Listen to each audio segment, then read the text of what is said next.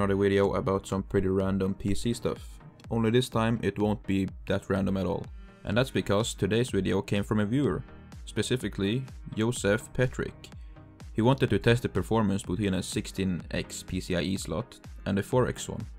And uh, Eric Britz said that he would like to see it. So I said that I would order a 16x extension cable and test it. And this will be pretty interesting for me because I answered a comment earlier saying that the 1050 didn't need 16x performance. So I'm really nervous about checking this out to see just how wrong I was. And also, I promised to make a video where I got it.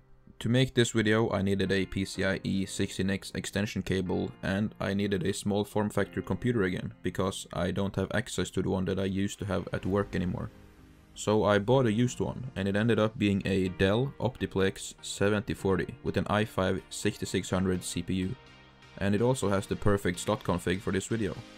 And I really hope that I can sell this computer when I'm done with this video because it was quite expensive to buy and I don't need it.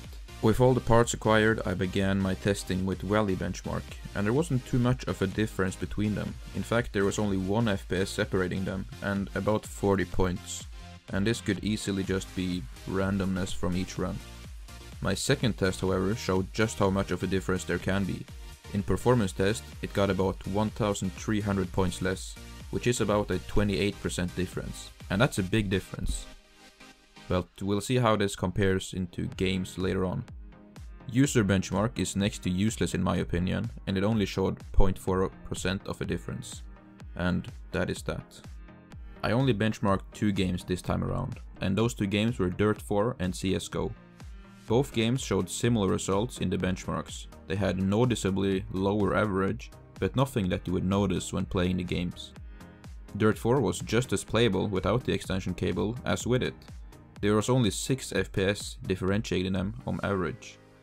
And uh, I did get more maximum FPS without the adapter. And I don't know how that came to be, but gameplay felt equal between the two.